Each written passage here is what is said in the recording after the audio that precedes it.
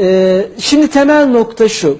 3 yıl kadar önce kamuda yeniden yapılanma diye bir sempozyum düzenlenmiş. Benim asıl eğitim ve seminerlerim liderlik ve yönetim üzerine. Gittim oraya. Kriz çıkmamış. Makam aracından giremezsiniz içeriye. Nasıl makam aracı anlatamam size. Gittim. Ben konuşmacı olarak davet edilmişim. Benim yaşımda dinleyici yok.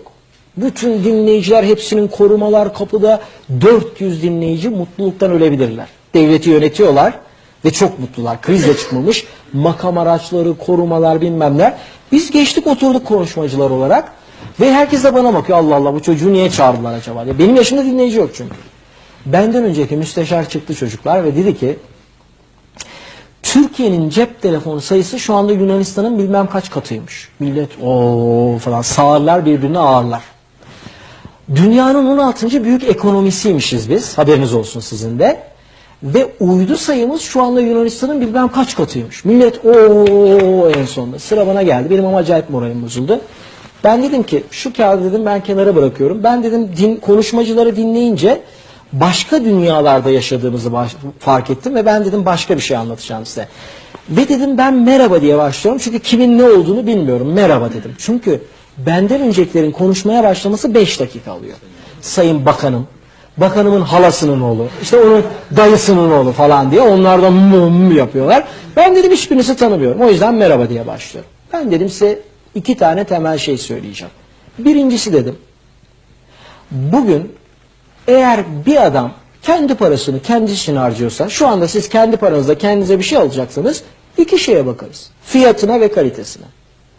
Eğer dedim birileri başkasının parasını kendisine harcıyorsa, ben devletin parasıyla kendime pardüs olacaksam, sadece kalitesine bakarım. Hiç fiyatına bakmam dedim.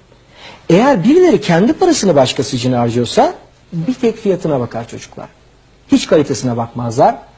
Ama dedim eğer birileri başkasının parasını başkası için harcıyorsa ne fiyatına bakar ne kalitesine. Salon buz kesti. İşin kötü tarafı dedim son 40 yıldır başkasının parasını başkası için harcarken kendinize yüzde beş, partilerinize yüzde on komisyon alıyorsunuz. Salon buz kesti. Şok herkes. Sonra döndüm müsteşara dedim ki benim için gelişmişliğin şeyi, kriteri cep telefonu uydu falan değil dedim. Ne senin için dedi.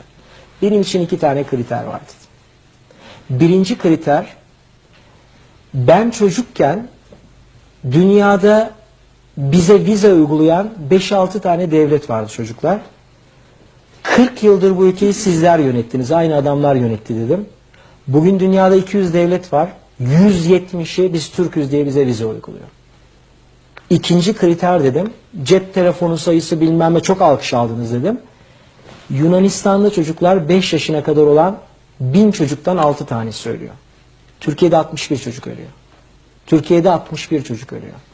Fazladan ölen 56 çocuğu vergi kaçıran bir iş adamı olarak ben öldürüyorum.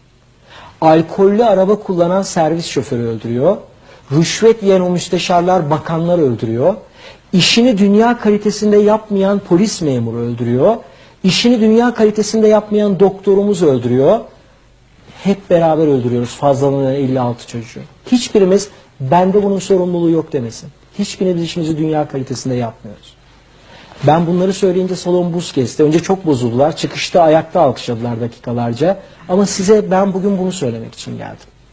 Bu ülke daha iyi bir ülke olacaksa sizin sayenizde olacak. Lütfen bizler gibi olmayın. Rüşvet yiyen, hayatta tek hedefi maaşım artsın başka bir şey olmasın, ben işimi kaliteli yapmayayım olmayan, lütfen çok kaliteli, çok iyi insanlar olun. Yoksa o fazladan ölen çocukların sorumluluğunu lütfen omzunuzda hissedin. Öyle yapın ki işinizi, Martin Luther King'in çok güzel bir sözü var. Sizden sokakları süpürmeniz isteniyorsa, Beethoven'in beste yaptığı gibi süpürün diyor. Shakespeare'in şiir yazdığı gibi süpürün ve Michelangelo'nun resim yaptığı gibi süpürün. Öyle bir süpürün ki uçan ve yürüyen herkes ve her şey dursun. Burada dünyanın en iyi çöpçüsü çalışıyormuş desin diyor.